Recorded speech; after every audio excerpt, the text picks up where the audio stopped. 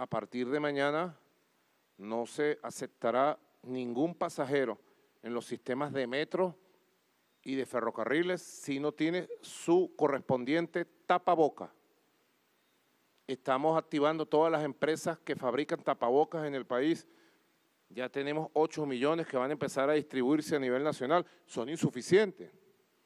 Cada quien, el movimiento popular, las organizaciones de base, los colectivos, los consejos comunales, con creatividad, las familias deben fabricar su tapaboca.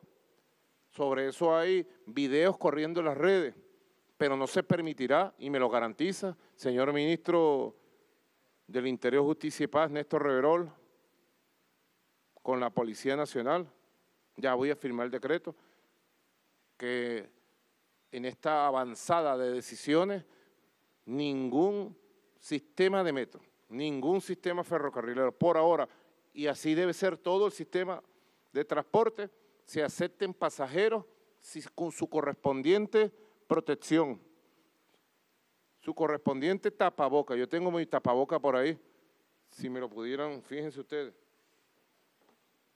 Aquí está, bueno, esto es un tapaboca de eso que uno compra por la calle. Sencillo. Tapaboca. Tapaboca. ¿Mm? La orden para todos en los próximos días y semanas. Más vale prevenir que lamentar. Se los pido a todos. ¿Mm? Se los pido a todos. A través de pañuelos, de distintas modalidades, porque efectivamente no en Venezuela, en el mundo entero ante una crisis como esta, la gente sale y los tapabocas desaparecen del mercado.